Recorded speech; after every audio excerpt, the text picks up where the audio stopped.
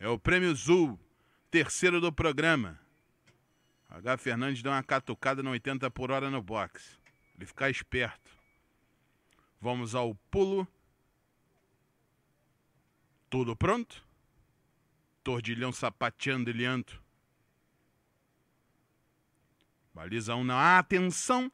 Foi dada a partida para o terceiro páreo do programa, largou com tempo de atraso excedente, linha 1 toma ponta na hora. Vai sacando um corpo inteiro de vantagem, avança lá por fora Elianto, pelo meio vai atuando o competidor 80 por hora, ficou mal Bárbara Mel. Em quinto, Frívolos, em sexto, Flamengo, Flamengo Purse. Na última colocação, vai atuando excedente. No final da reta oposta, entram pela variante, e lá por fora o Elianto sacou cabeça, pescoço, meio corpo de vantagem por dentro. A competidora na hora em segunda, em terceiro, já algo balançado 80 por hora. Frívolos em quarto, vão se aproximando da curva de chegada e o Elianto tirou na frente em 2 e 3, contorna a curva de chegada e entram pela reta final. Elianto tem a ponta 2, 3 e 4 de vantagem, avança por fora 80 por hora, luta lá por dentro com Bárbara Mel pela segunda colocação. Na ponta o Turdilho Elianto, ele tem 3 e 4 de vantagem, 80 por hora, tenta descontar. Lá por dentro avança a Bárbara Mel e cá por fora Flamengo Percy acende o espelho, vai rabejando Elianto. A Bárbara Mel começa a crescer junto aos paus, tomou a segunda,